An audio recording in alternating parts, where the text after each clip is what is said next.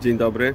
E, drodzy Państwo, bardzo serdecznie chciałbym zaprosić 24 lutego o godzinie 19 do Miejskiego Ośrodka Kultury w Lubawie, e, gdzie przyjadę z najnowszym programem stand-upowym Kosmos Bajka Prowokacja.